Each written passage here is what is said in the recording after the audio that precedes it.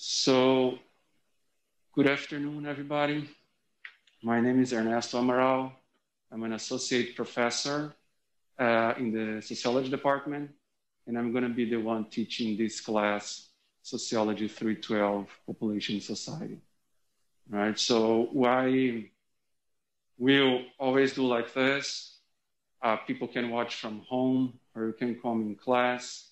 And um, I'm also recording the lecture and I'm going to post it on my YouTube channel so you can watch it afterwards if you want.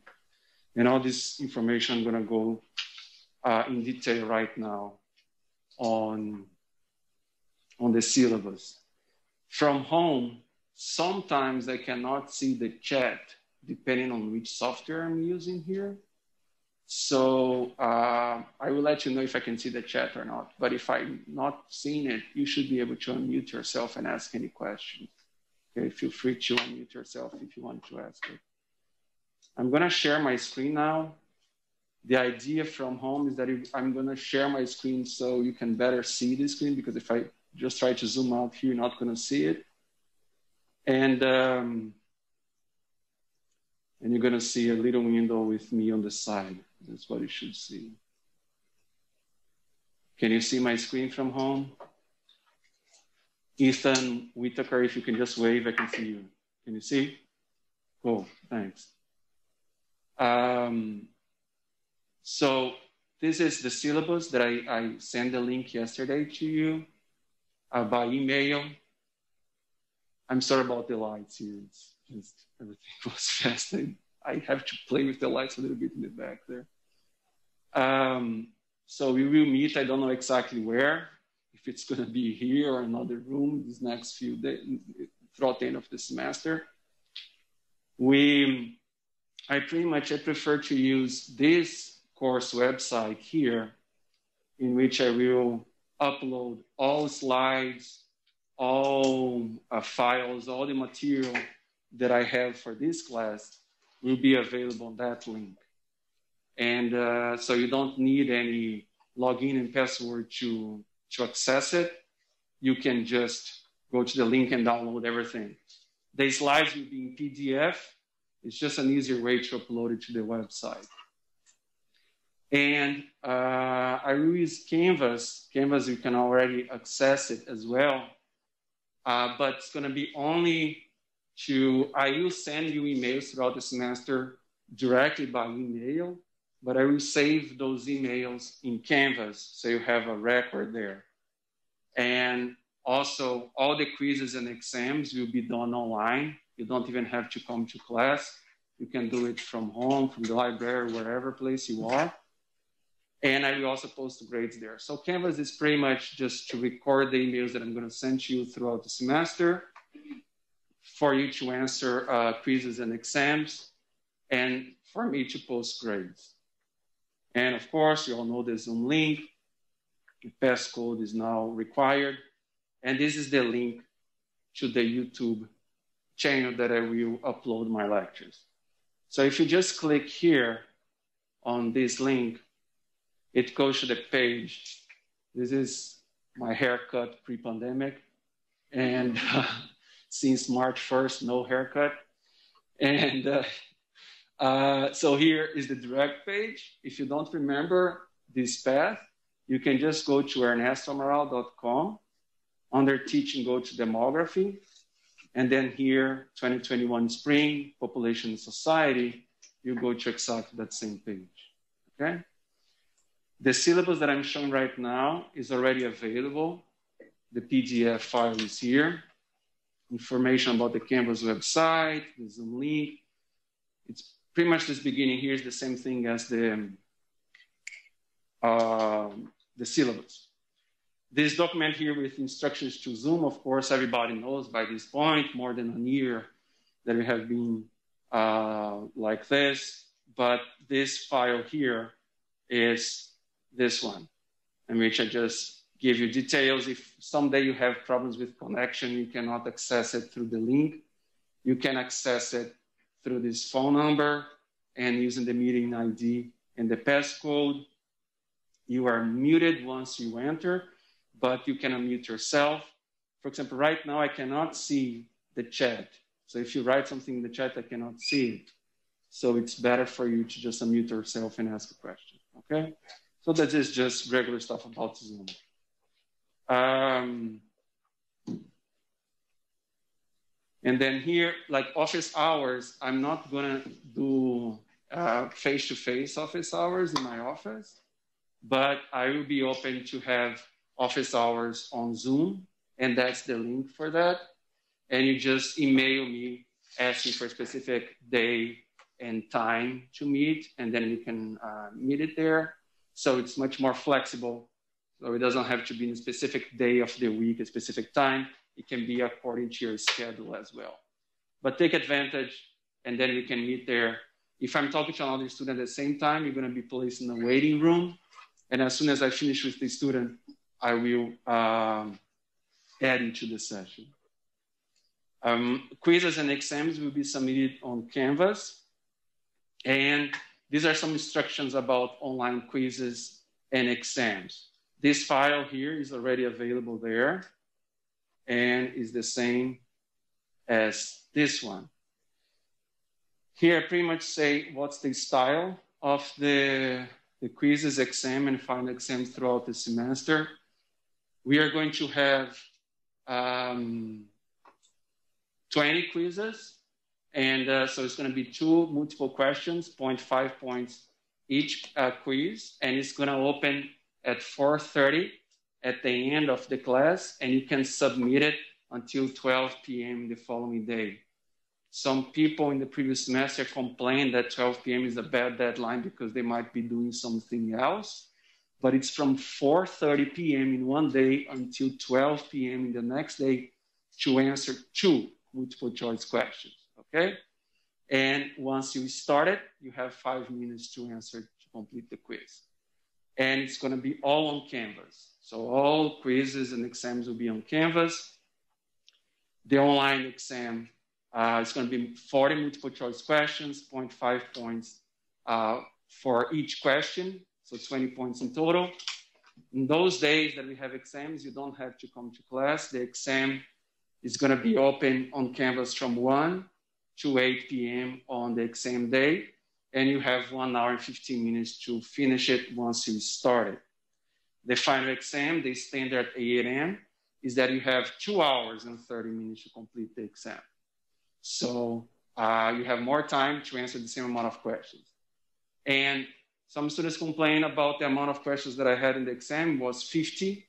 So I dec decreased it to 40 questions per exam, but you're going to be able to see just one question at a time. And once you answer that question, you cannot go back, okay? And this is what I'm explaining in the bottom here. So just read this document as well.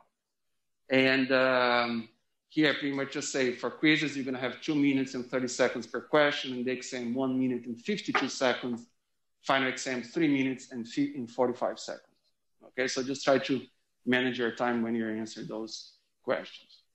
And this document here is in the website. The link is here, instructions about online quizzes and exams. And the link is also on the syllabus, right, um, right here. I'm going to talk about the course objectives here, but uh, sorry, sorry, right here. Students should read instructions about online quizzes, exams, and final exam.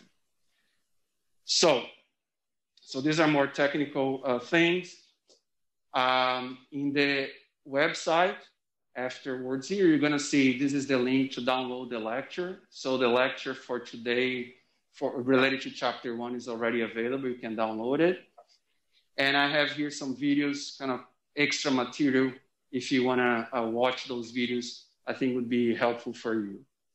And, and then you're gonna see the same style for the next uh, chapters. The uh, days three and four, we have scheduled chapter 10. It's not available there yet. So in this case, if you click here, it's gonna say that this file was not yet uploaded, but I will do it soon.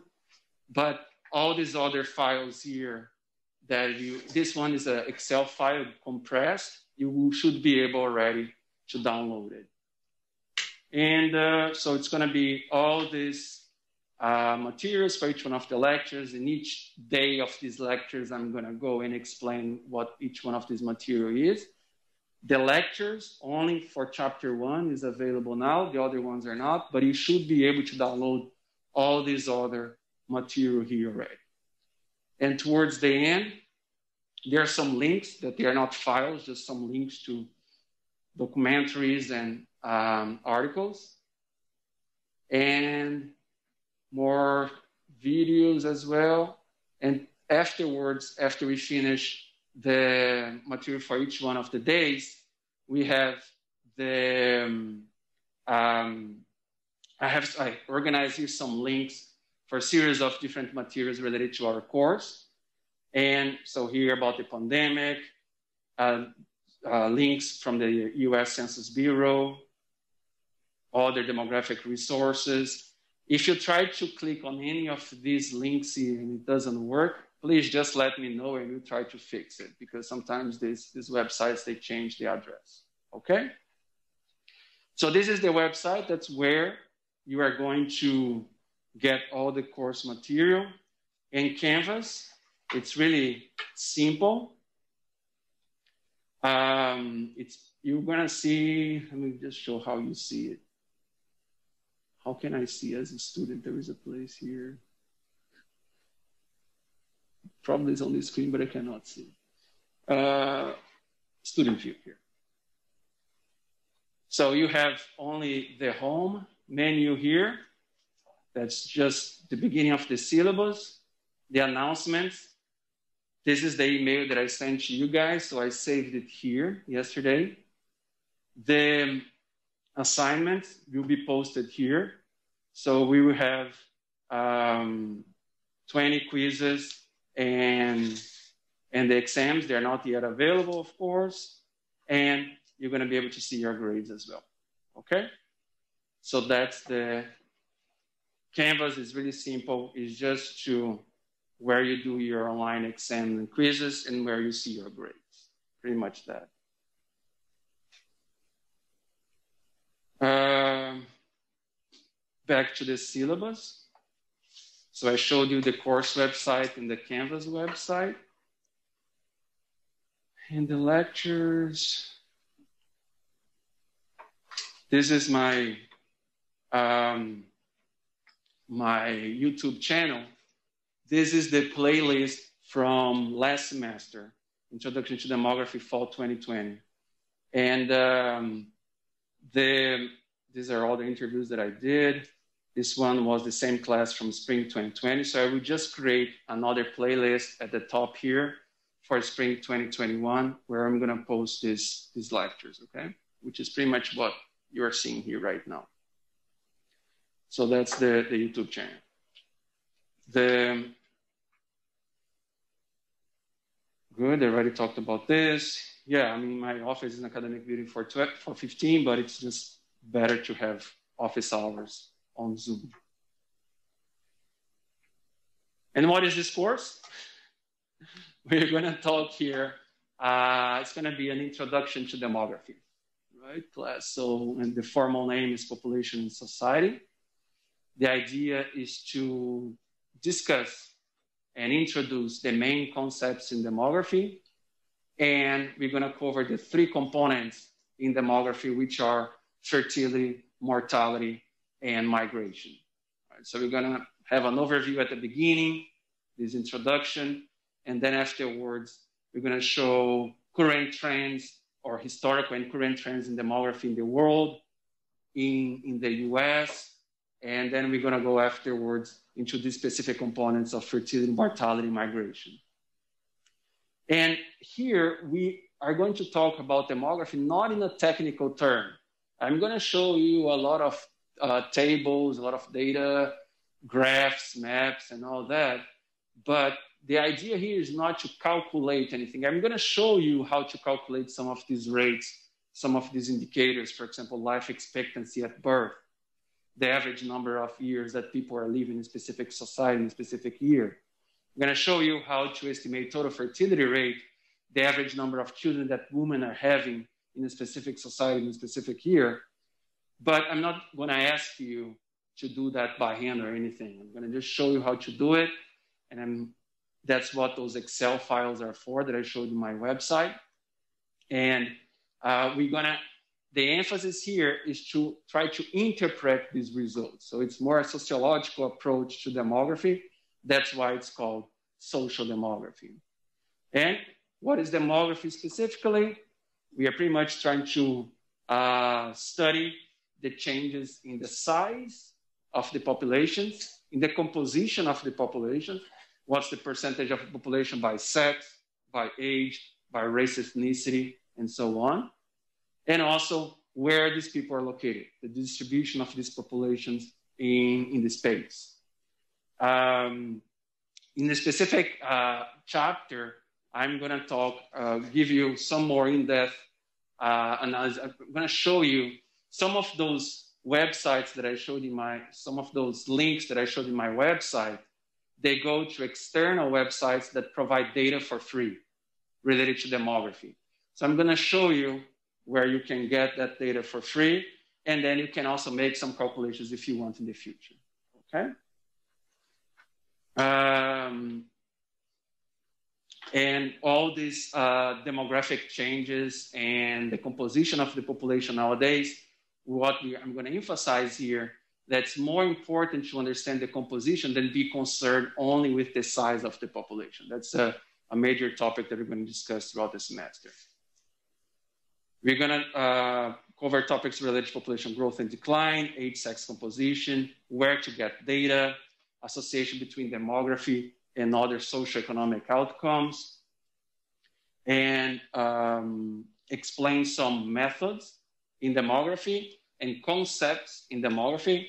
What, for example, we are periods, cohorts, the Lexis diagram, talk about mortality measures, fertility measures, and uh, migration measures as well. So that's what I'm talking here.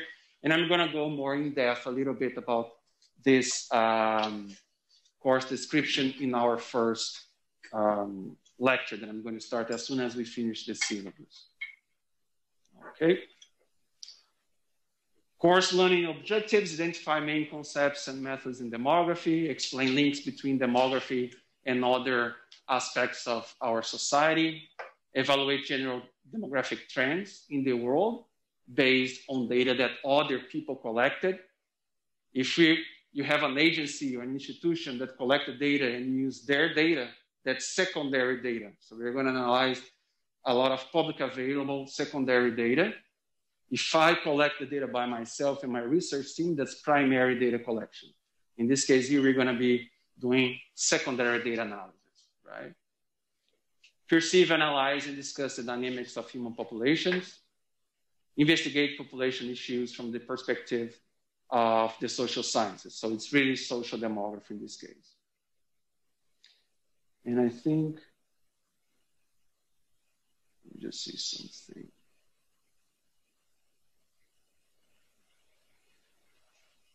I'm trying to just show the chat here in front of the window, but it doesn't show. Just see. Yeah. The textbook that we're gonna use for this class is this Population Society Introduction to Demography by Dudley uh, Poston. He was a professor here in the sociology department. He retired recently, so I'm just gonna keep using the same book that he used. And you can buy it or rent at our bookstore. And you have the different uh, prices here to rent, use new, buy, use new. And you can also uh, buy the electronic version on Amazon, which I just checked today is the cheapest one that you have today. These prices, they vary a lot, but the e-textbook is $37 on Amazon, okay? So that's pretty much the book that we're gonna use throughout the whole semester. I'm gonna use uh, additional material, but it's you don't have to buy, it's going to be all available in the course website. This is the structure of our uh, uh, of exams and quizzes that we're going to have. I talked a little bit about it already to you. So we're gonna have four exams, exam one, two, three, and the final exam, 20% of uh, the final grade in each one of them, 40 questions, 0.5 point per question, and the quizzes, uh, two questions. No, wait, I, I wrote something wrong somewhere here. The quizzes, uh, wait, how many quizzes I have? I'm sorry about that. There is just one little problem here, so should be quizzes 20. No, so it's 0.5 points. This is wrong here.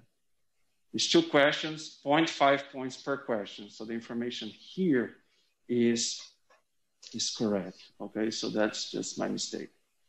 Two questions, 0.5 points per question. I will correct this. And uh, I will also give opportunities for extra credit throughout the semester as well. The exams will be given online on Canvas and will be pretty much multiple choice questions. And there will be no face-to-face classes on exam date. The same thing for the final exam. And the final exam, uh, by coincidence, is gonna be on the Tuesday after classes finish. But it's usually, I just follow the, the standard from the university on where to give the final exam, as you all uh, already know, but also you'll be able to take the final exam from home.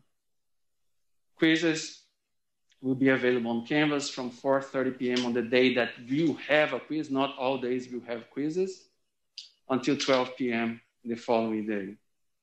And those instructions about online quizzes, exams, and final exams available here, which is that one that I already showed to you earlier today. Okay, that's this, this file here. Um, students keep asking me throughout the semester if I, I grade on a curve. No, I do not grade on a curve, and I make it really clear in the syllabus, right? So it's pretty much the grade that you get in the exam. Uh, I, you give extra credit activities, but I will not grade on a curve.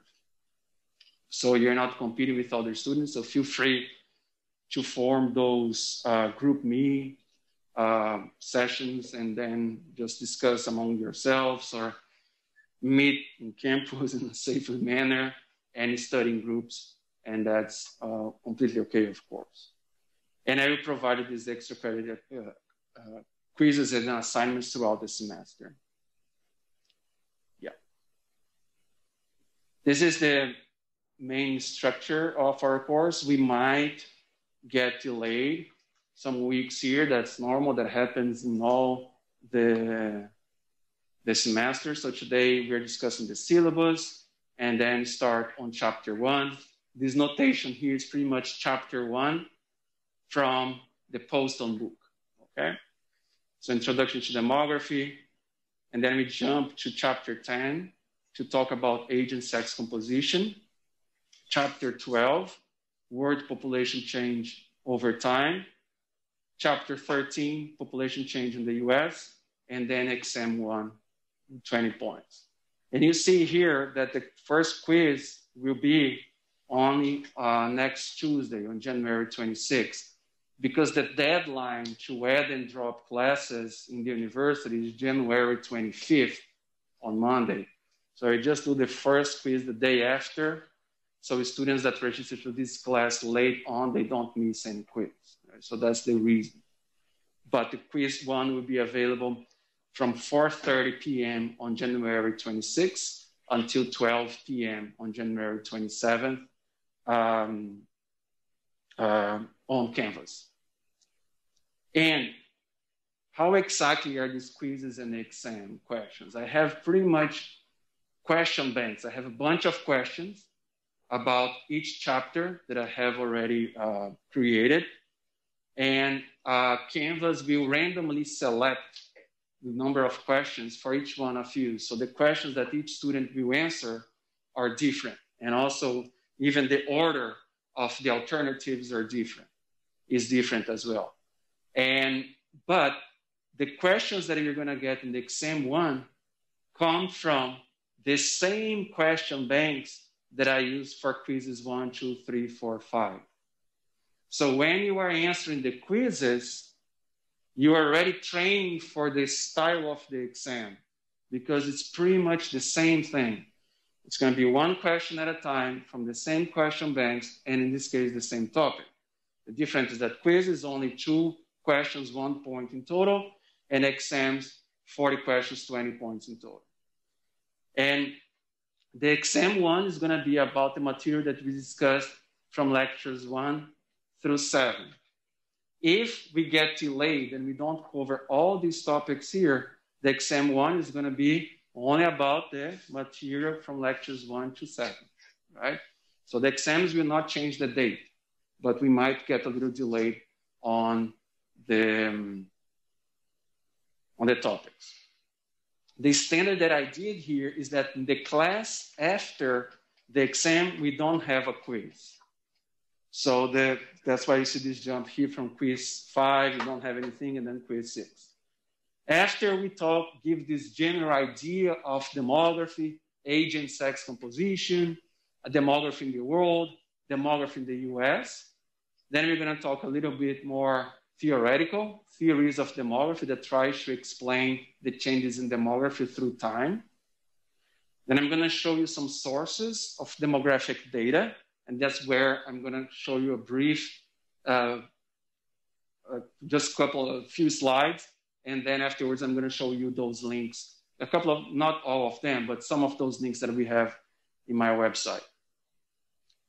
And then we will cover chapter four about fertility, no class on March 2nd, and chapter seven, mortality.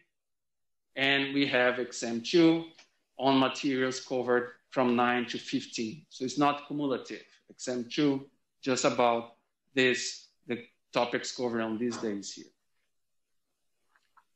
continuing March, March 18th, because of the schedule of the university, that's a redefined day. Students attended their Friday classes, so we don't have a class here. And it's also a good day for everybody to celebrate my birthday. So just remember that. just kidding, but it's true. Uh, then we're gonna go to chapter eight about internal migration, chapter nine, international migration, international migration, there is more material. That's why I'm going to cover in more days. And then chapter 11 about race ethnicity. And here in the middle, we're going to have exam three, okay, covering the topics from lecture 17 to 22. And then finish race ethnicity, feminine sexuality, chapter five, uh, contraception, birth control, chapter six. And then the final exam, like I said, on the Tuesday after we finish the classes, that's the formal day that the university put us to have the final exam. But again, for us, doesn't make a difference. Is that you're going to take on Canvas from wherever you are. You're going to have just more time, two hours and 30 minutes. And it's, again, not cumulative. It's uh, only materials covered from uh, 24 to 28. So actually, it's technically less material than we're going to uh, cover on the previous exams. And these are the other chapters that are available in the textbook that we probably won't have time to cover. And I will also put my slides to those chapters as well in the course website. Okay? Any questions so far? All good? From home? Any questions? And here, uh, some uh, more information from the department and the university. The Department uh, of Sociology has this diversity and civility statement. This is a serious thing that we encountered in past years in, in our classrooms. Students not respecting each other, students not respecting faculty. So it's pretty much here. Let's just, the topics that we're gonna talk in this course are really controversial, as usually are sociology topics, but let's just be really um, respectful to each other and have great discussions. Whenever you guys ask questions, that's when I think we have more discussions and good and go more in depth in the analysis. But let's just be respectful in in the in these discussions, both among ourselves and with faculty as well. Okay. I mean, everything in this course can be controversial. If you think uh, fertility, we're going to talk about contraception. Mortality, we're going to talk about differentials in mortality by socioeconomic status. Uh, migration, it's a huge topic in the country right now that started being really a national debate since the 2016 presidential elections. So everything can be really controversial, but what we emphasize here in the sociology department is knowledge based on science. So if you want to bring a different point of view, that's important. But all the discussion here, we are at the university, has to be based on science. Okay, so that's the main message that I'm gonna try to talk here. We are doing social science. Everything at the university is based on science. No, no more than that. Um, class participation, I will not take attendance in each class. Uh, during the pandemic, it's crazy. You pretty much can stay at home and or you can watch the, the lectures afterwards on YouTube. You can download the PDF and watch them.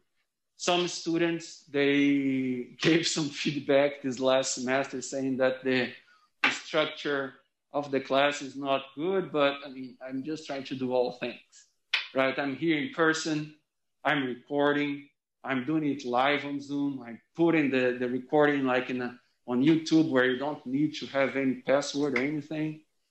I'm just trying to make everything easy for everybody. Of course, if you are in person, uh, we can talk a little more, but I will keep wearing my mask. I, um, there is this thing about having to look at students in the chat and I lose a little bit of contact with you guys. But but that's the reality. You know, that's that's the best I can do in this situation. Um, I will not take attendance in, in each class, but I do think I, I will not give points for class participation. That would be just too hard to know who participated or not, both in class and on Zoom. But I really like the times that I, I had um, more fun in this class is exactly when students ask questions, right? And of course, the same thing related to the previous uh, statement, hate speech will not be tolerated in the classroom. So let's just be respectful to each other, okay? If you, uh, we are not gonna have, probably maybe we're gonna have a couple of assignments where you have to write and so, but most of our exam and quizzes are gonna be pretty much multiple choice questions. But if any of the assignments you have to write a short essay and you have difficulty putting your ideas uh, into the document, you can always use the University Writing Center to help you with that. So that's, the, that's why you have this information here. Uh, all everybody is welcome to use laptop at home. Uh, of course, not laptop in the classroom, and take your notes directly in the computer lately I'm trying to take my notes more in the computer than a piece of paper because I always miss my paper. My children take the paper and I don't know where they are. So it's uh, um, all welcome, but just try to concentrate on the topic that we discussed in the class. The, um, um, you can also, one, some people found useful in these previous semesters, they get the PDF file from the lectures and print them like three slides per page and then write comments on the side while I'm teaching the class. So you can do that as well. That's up to you. I might change the lectures throughout the semester, add a couple of slides or delete some. But if you print as soon as I upload it, it's not going to change so much. And if you have that printed in paper while you're here in the class, maybe it's a good way to take notes as well. As you know, since the last semester, the student course evaluation changed from PICA to this AEFIS system. So this is just to let you know that's going to be available there at the end of the semester to evaluate this course. Office hours, I intended to assist you guys on doubts that you have throughout the semester. It's not an opportunity for me to teach the whole uh, lecture again. So just come, try to be more prepared with your questions. If you miss some of the, the, the questions because of like a disease or something, I understand that I would have to talk a little more. But try to take advantage of office hours. Students usually don't take as much. And in this online system is actually better because then we can meet at any time throughout the week. It doesn't have to be in specific time during the week, as I said before. Students are not allowed to submit their coursework after the due date. Uh, just in the case of excused absences under the student rule seven, then I can reopen quizzes and reopen exams so you can take them in a later uh, time, but it has to be uh, considered an excused absence under the student rule 70. And you all guys know about it here. And this is the link to access it. These are standard university policies. Um, students required to quarantine or self-isolate should still participate in courses and course-related activities remotely and must not attend uh, face-to-face course activities. And in our course, it's kind of easy because then you can uh, watch it uh, through Zoom or afterwards on, on YouTube. And some people, exactly that, they, they get sick, they cannot even attend the class on Zoom the same day, but then they can watch in a later day on YouTube. And the person just sends me the, the doctor note by email, just take a picture and send by email. And I will reopen the quiz or the exam after you have watched the lectures on YouTube, right? It's really simple. Try to make everything really simple here. Um, students will be excused to attending class on the day of a graded activity or when attendance contribution to students' grade. This makeup work policy here, it's this, all these sections under university policies, I cannot change any of the wording here. So this is standard that you should, at least you should see in all syllabi of professors in the university. The makeup policy for us, it's easy, like I just said here now. It's an excused absence under student rule seven. Just send me the, the document proving that by email.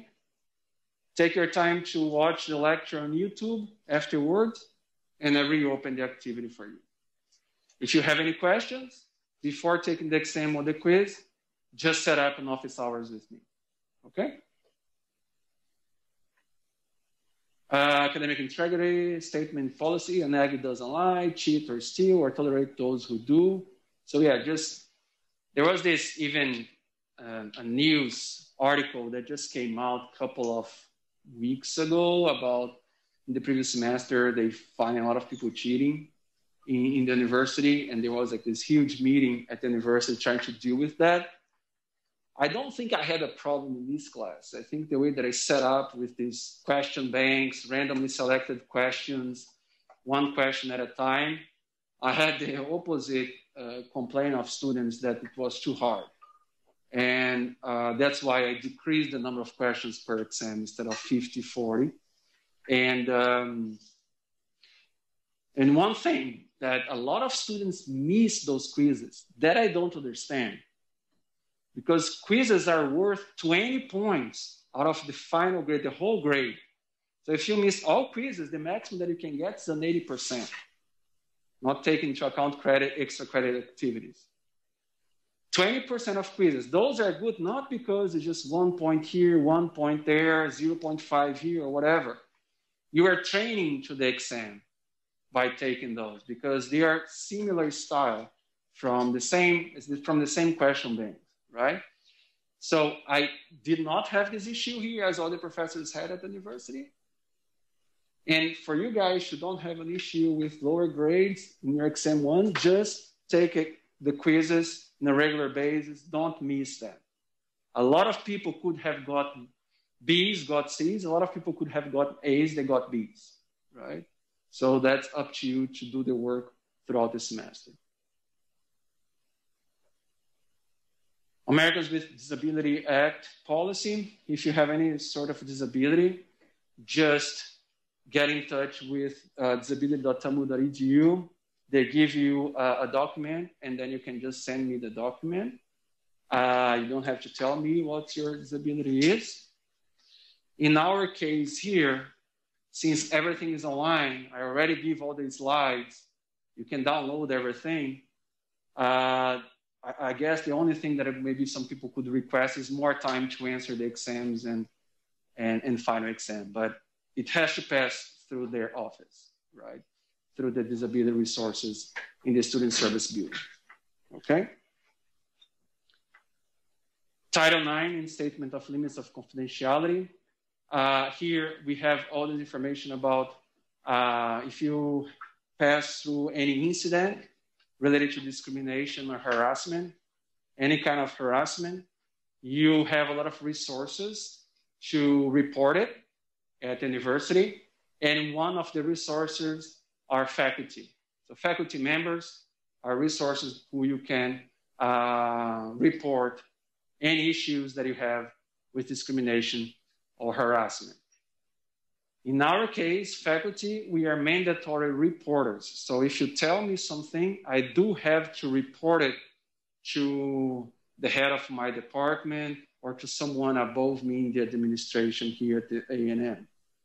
But if you want to report someone and that you don't want that person to report to someone else, you have to go to someone who is not a mandatory reporter. I'm a mandatory reporter in the sense of having to pass it, it to other people. You can just look at the university rules and see which would be the best um, person or group or that you would like to better report the, the, the incident that you have faced. You have faced. State if you have problems, any issues with mental health or wellness, there is also, uh, there are a lot of resources at the university here as well, and even a link where you can um, connect it and, and try to get some help. This link here for Title IX, it's uh, related to the issues of discrimination and harassment. That's where you can get more uh, information about where to report your incident, right? And you have all these different people that you can write and, and try to solve your issue. And these are the same sessions related to the pandemic. Uh, students who have fever, or exhibit symptoms of COVID-19 should participate in class remotely if that is an option, and it is for us, and should not participate in face-to-face -face instruction, face covering, uh, must be properly worn in all private spaces, including classrooms. For me, it was a surprise to see people here outside the classroom, but in, inside the building, not wearing uh, masks. That I, I do not understand why. And uh, to attend a face-to-face class, students must properly wear an approved face covering. If a student refuses, I will just get out of the room. I can turn this everything off here in 10 seconds and I just get out of the room and that's it. Okay? So just, just wear the mask properly. If not, I just stop everything and stop the class. Easy. I'm just following the university rules. Cool. Um, again, students are required to quarantine or to participate in courses, in course-related activities remotely, if that is an op- if that option is available, which is it is for our case and must not attend face-to-face course activities. Okay?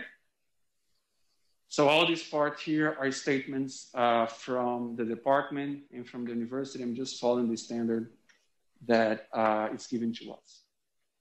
Any questions? All good?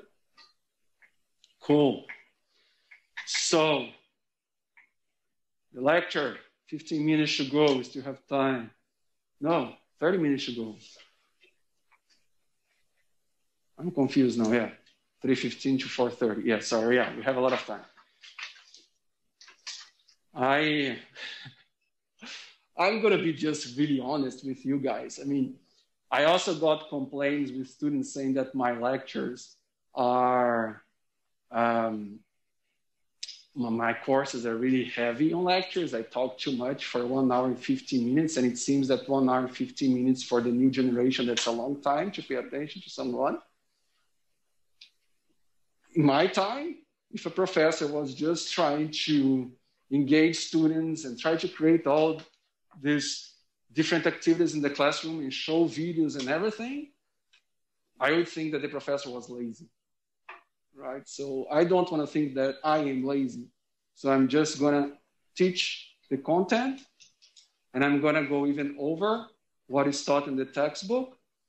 But again, the time that I had more fun and the discussions went more in depth in the classroom, that's when students ask questions.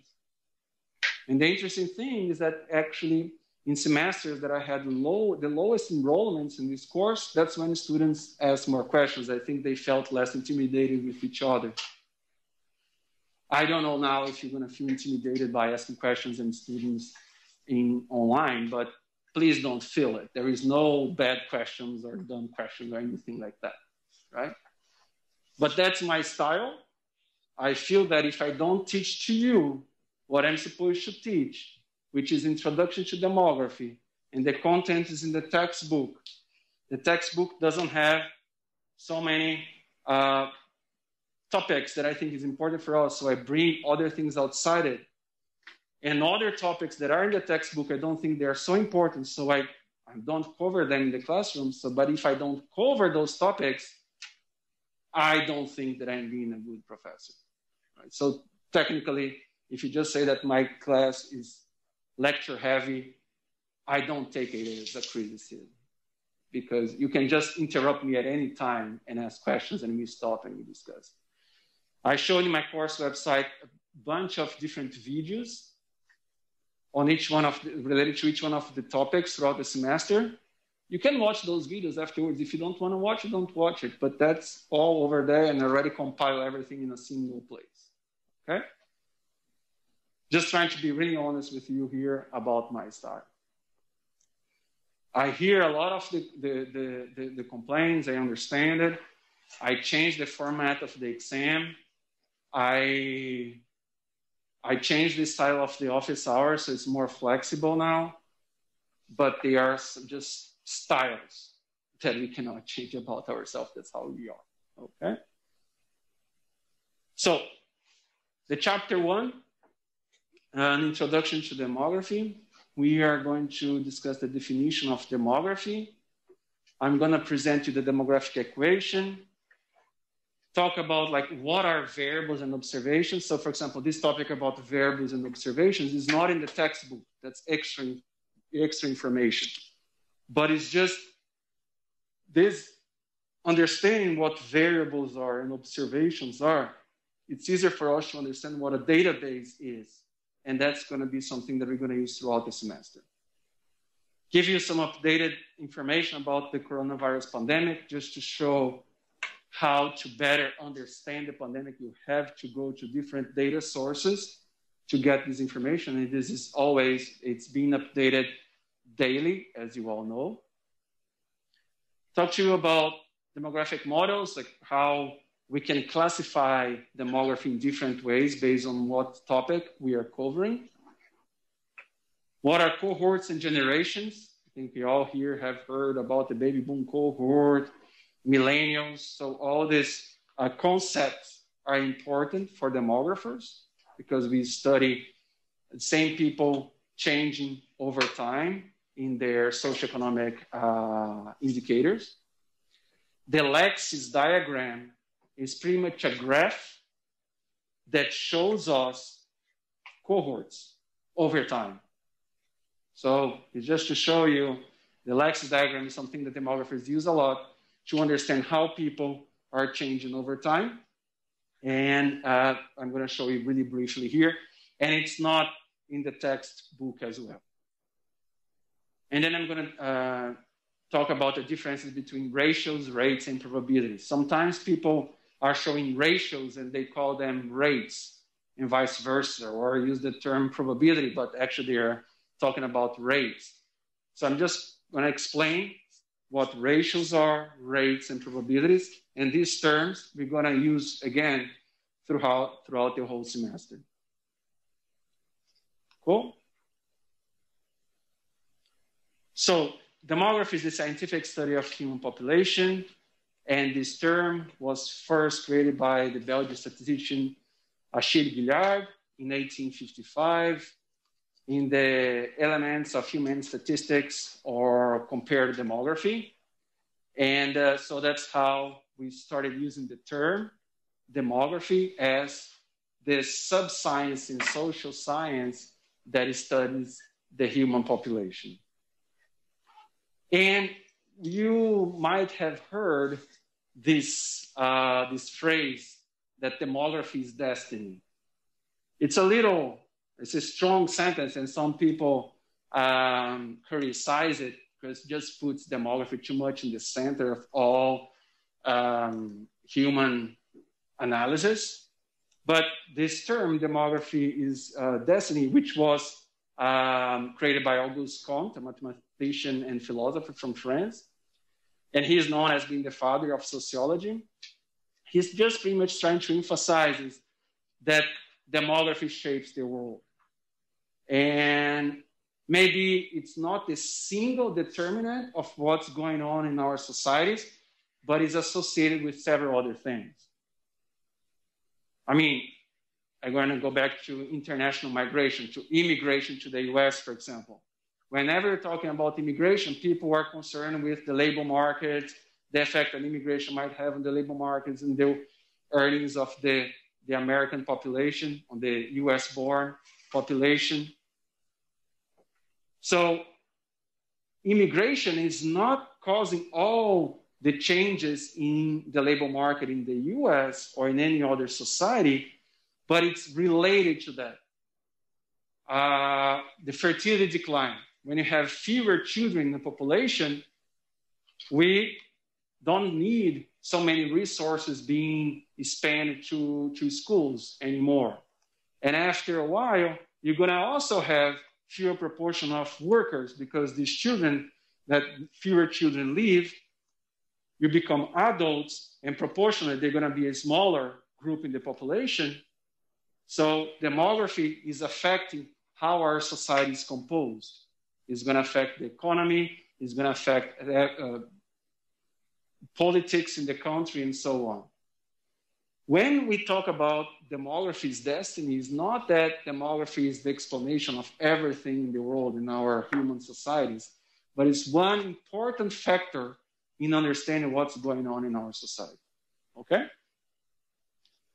Population change is an underlying component of almost everything happening in the world today and therefore in the future as well. And this example that I gave to you about uh, fertility changes, you get fewer children, smaller proportion of children, and then a smaller proportion of uh, people in labor ages. So the changes in fertility in a specific time will have effects for decades in the future, okay? John Graunt uh, was an English statistician, considered to be the founder of demography.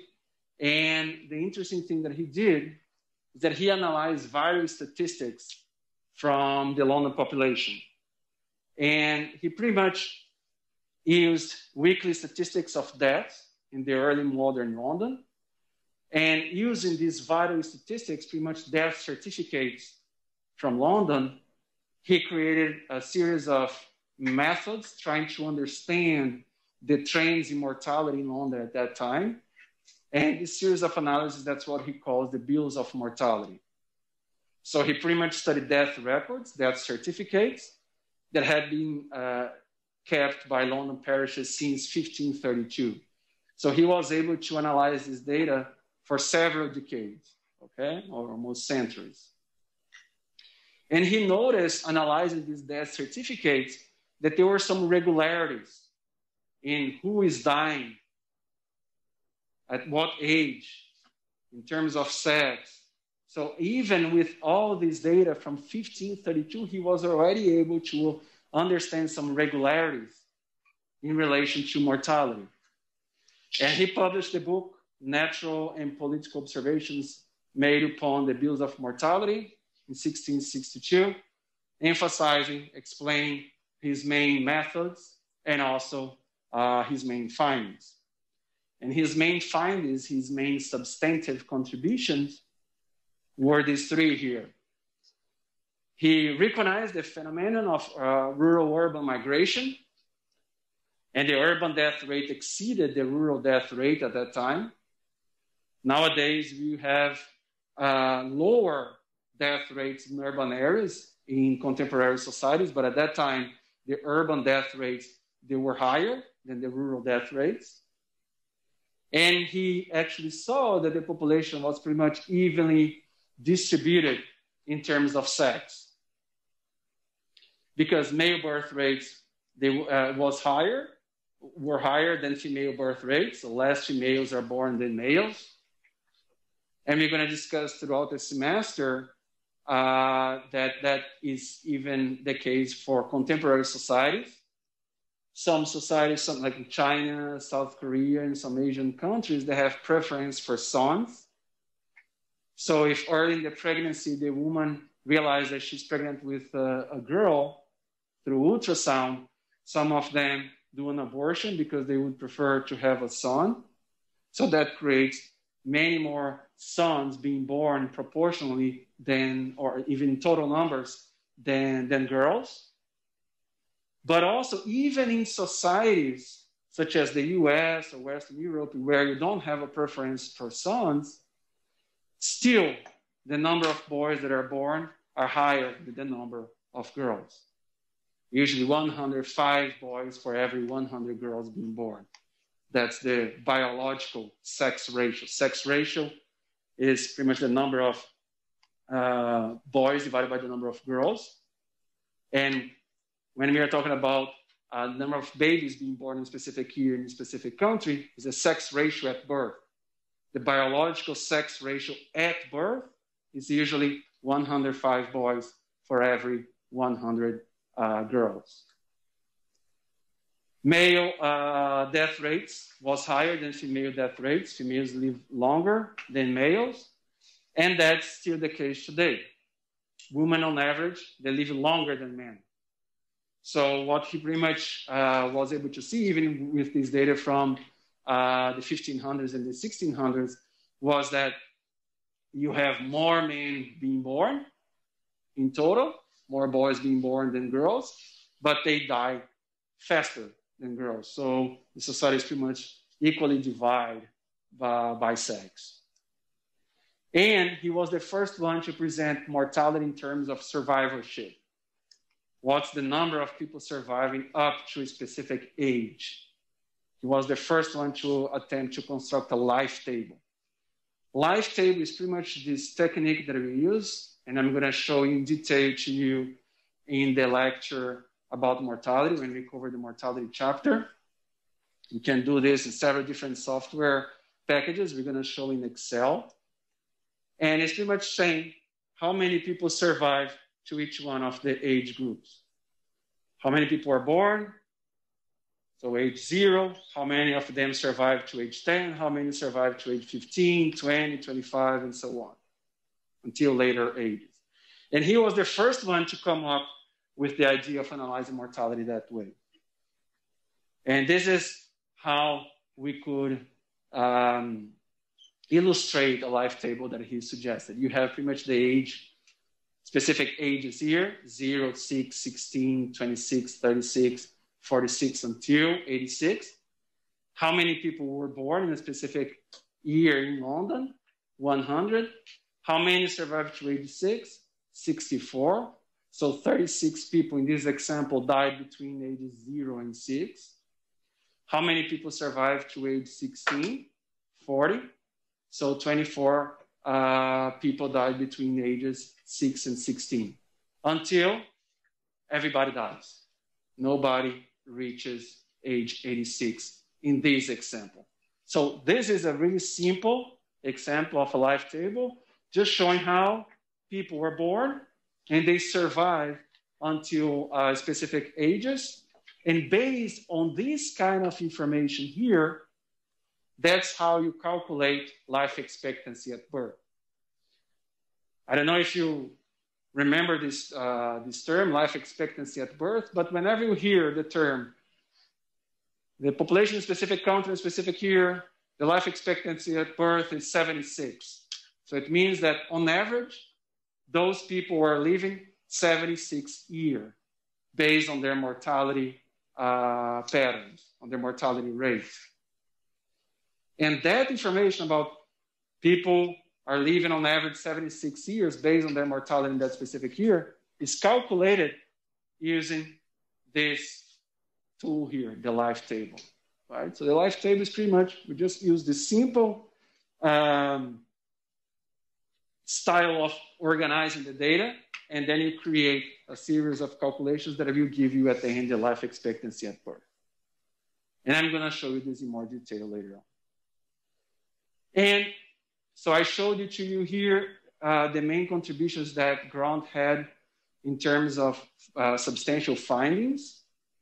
And now methodological contributions that he had is pretty much paid attention to quality of data.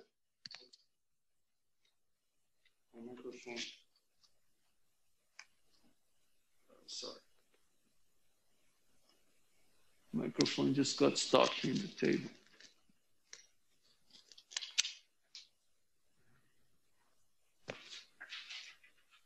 I have just broken it. Can you still hear me at home? Ethan? Cool.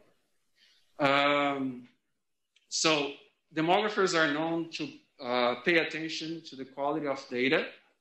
We pretty much don't take data as being 100% reliable. We're always trying to see if there is any problem of measurement in the data collection and so on. So we just have to be really skeptical about the data and question the, the reliability of the data every time that we use it. But usually when we use data from agencies such as uh, the Census Bureau or the CDC, for example, that we have been hearing a lot during this pandemic, that they, uh, NIH and so on, that data, data is really reliable. And, uh, but it's important for us to have this, what he called healthy skepticism, in the sense that we have to question, but have to come up with questions about the quality of the data in a reasonable way. So he questioned the validity and reliability of data throughout his uh, studies. In the textbook, Dudley Poston uh, defines demography as being the scientific study of uh, the size, composition, and spatial distribution of human populations, right? So, like I said when I was talking about the in the syllabus, we are not just concerned with like how big the society is. We're also concerned about the composition of that population. What's the percentage of men and women? What's the percentage of younger people, people in labor ages, and people in older ages? What's the composition of people by race, ethnicity? What's the composition of people by socioeconomic status? All that are of interest of the of demographers. What's the uh, proportion of uh, households that have only one parent in the household, or have the two parents, or only the mother, only the father? All these topics are of interest to, uh, to demographers. That's related to composition. Where are these people located? Are they all randomly distributed in an equal way through space, or are they more concentrated in the east and the west coast? Within Texas, are they all equally distributed in all the counties in Texas, or are they more concentrated in the big cities, Houston, Dallas, Austin, San Antonio? So all this analysis, not just the size, but also the composition and the spatial distribution, all these topics are important for demographers. Okay? It, demography investigates changes in population size, composition, and distribution, resulting from fertility, mortality, and migration. Right? The three components in, in demography, we're always trying to understand how they affect the size, the composition, the spatial distribution of the population. Demography helps understand what the past says about the future, given its expected population changes. You might have seen already the, the, the United Nations has maybe the most famous uh, population projections, but the Census Bureau also has in several different uh, institutions. They get historical trends of fertility mortality and migration in specific countries, and they can do projections for the next decades, even to 50, 100 years ahead, and try to think how the population is going to be. Not only the size, but also the composition and the spatial distribution. And that's important for policymakers, because if we know that we're going to have less children proportionally in the future, we're going to have to spend less resources on education, more resources for the elderly population, right? We're going to have to have more resources for social security, for example, when people get retired. So these projections in population, and, and that's actually uh, true for any science, and not just social science. Predicting the future, doing these projections, trying to see what's going to happen in the future, that's the main goal. Here, in this course, you're going to first try to understand what's going on now and in the past. You're going to see some projections. But in any science, in any course that you are doing, our challenge is to try to understand what's going to happen in the future based on historical data and current data using scientific methods. What was one of the big problems in the 2008 economic crisis? That really few people predicted the economic crisis, and then unemployment increased a lot, and a lot of people suffered from that. So being able to see the signs of possible crisis in the future or even demographic composition is important for us. The pandemic as well. You could say, oh, we could not predict the pandemic, but, and we could also say that uh, China was uh, slow in telling other countries that the pandemic was serious. But they told us back in January last year that the masks were important to control the virus and that the virus was dangerous. We stopped the classes here at A&M after spring break in March. When did we start wearing the masks? Maybe in April, May? I use all the time. I just mentioned to you guys here outside of the classroom, people not wearing masks inside the room, going to the grocery store. So being able to understand what might happen in the future based on science and make people understand those results, that's our goal. If we just criticize science because we have some other other beliefs beyond science that blind our eyes, that's not going to help our society. We have to make these decisions. We have to think. We have to try to understand what's going to happen in the future based on with scientific knowledge and try to convince others or show to others how important that is, right? The US just reached now 400,000 deaths due, uh, due to the pandemic. Of course, not even in space throughout this time, but it's like 400,000 deaths in 10 months, on average 40,000 deaths per month. Again, of course, that's more concentrated in more recent months, but on average 40,000 per month.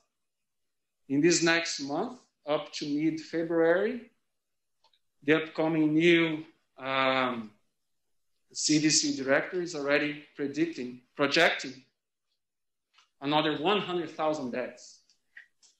And so far we had 40,000 on average per month. Of course, more concentrated in recent months but another 100,000. And that's based on projections, on the trends, on how people are socializing and so on, right? So understanding what we have now and think what's going to happen in the future, it's a goal that we have not just as demographers, as sociologists, as political scientists, as economists, but as scientists, that's, that's what we are here for, right?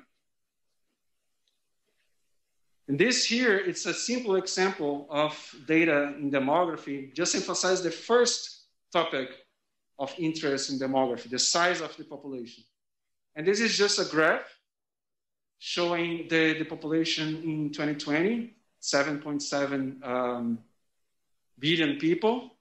And each square here is proportional to the size of the population in each one of these countries.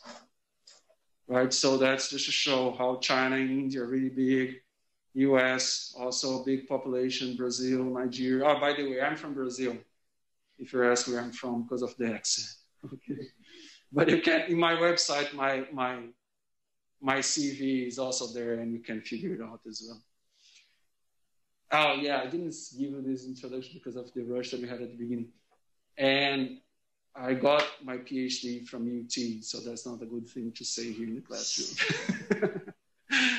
uh, but, but, but I'm an Aggie now, so I'm, I'm changing and rooting for, for the Aggies as well. But, um, so this is one example of how to show demographic data in a really simple, friendly way. But demography is not only concerned with population size, but with also whether the population is growing, declining, and with the three components, which are also called the three processes in demography fertility, mortality, and migration. Population distribution, where are these people usually living in this space? Population structure is usually related to age. You have a higher proportion of the people in younger ages, in labor ages between 15 and 54 years of age, or 15 and 64 years of age, or in older ages. Population characteristics, like I mentioned before, some examples by socioeconomic status, by race, ethnicity, um, by household composition, and so on. These are all population compositions that we can try to understand. And some of the primary demographic questions that we have related to exactly those topics that we just did, that I just showed. How large or small is the population? How is the population composed in terms of age, sex, race, marital status? What are the characteristics of the population? How is the population distributed in space? Because we know that the population is not randomly distributed in the space, not randomly distributed in the US, not randomly distributed within Texas, not randomly distributed within College Station, right? More people living here closer to the university than five, ten miles from here. How population changes happen over time. Again, those projections that are really helpful for us to understand what's going to be happening in the future so we can act in advance. And to answer these questions, demographers usually try to understand the changes in the level of fertility, mortality, and migration. So it's really hard to know what's going to happen in terms of demographic composition to the future. And exactly because being so difficult, demographers usually concentrate on specific areas. So you have demographers usually doing more work in fertility, others in mortality, I usually do more work on migration. So we can try to understand these changes, focusing on each one of these components. Okay, so I think it's 4.30 now, and I will continue on this lecture. You can already download it if you have not done it already.